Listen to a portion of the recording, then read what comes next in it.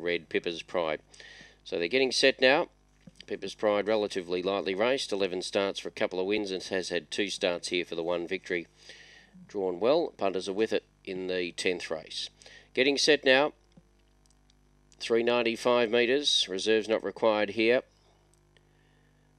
Last of the runners uh, loaded up. Silvani Cube, Prince Stealth, Sir Badger and Wolf Point will complete the line. And uh, last look at the board, still 320 for number one. Almost set to go. And the green light is there, race number 10. 395. Ready, Racing, Pepper's Pride, the inside came out okay. It's trying to boot up on the rails and will nearly do so here. Dr. Shreds is challenging.